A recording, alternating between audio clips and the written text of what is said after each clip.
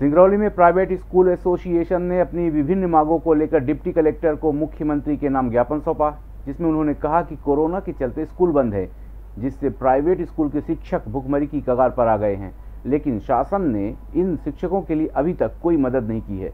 Private school association के अध्यक्ष अश्विनी तिवारी ने डिप्टी कलेक्टर संपदा सराफ को मुख्यमंत्री के नाम ज्ञापन सौंपा। ज्ञापन में कहा गया है कि कोरोना महामारी की वजह से सात माह से प्राइवेट स्कूलों की गतिविधियाँ पूरी तरह से बंद है। प्राइवेट शिक्षक व संचालक भुखमरी की कगार पर पहुँच गए हैं, जबकि सभी तरह की गतिविधियाँ कुछ सुझावों के साथ सरकार ने चालू कर दी हैं, लेकिन अभी भी प्राइवेट स्कूल संचालकों के लिए कोई स्पष्ट दिशा निर्देश नहीं दिए गए साथ ही 2011-12 से अनिवार्य बाल शिक्षा अधिकार के तहत जो शासन से राशि आती थी, वो भी नहीं दी गई है। सरकार से मांग है कि प्राइवेट विद्यालयों की प्रॉपर्टी टैक्स, बिजली बिल, पानी के बिल सहित ब्याज को माफ़ किया जाए।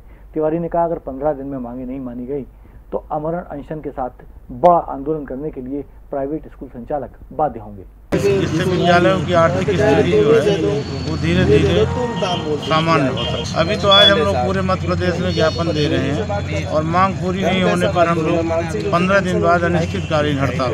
लगभग सीबीएसई की स्कूलें छोड़ के स्टेट की सभी स्कूलें प्रभावित। संगीत की स्वर लहरियों से। सांस्कृतिक ताने बाने तक। चंबल के पीड़ों से नक्सलवादियों के गढ़ तक झोपड़ी से महलों तक ठेलों से मेलों तक पगडंडियों से सड़कों तक गाँव से शहरों तक व्यापार से उद्योगों तक। राजनीति से कूटनीति तक। दखन न्यूज़। आपके हक